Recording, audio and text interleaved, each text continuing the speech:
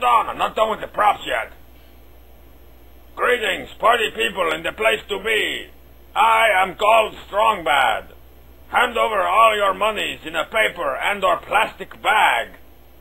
Ladies, form a line to my left for makeouts. Dudes, form a line to my right for high fives. Like I said, I'm Strong Bad. I've been described as cool, awesome, hot, video games, the hottest, and real, real hot. Me and my big brother and Howard the Cheat pretty much run the show around here, as well as serve as a sort of multi-purpose criminal element. Yeah, we got a lot of...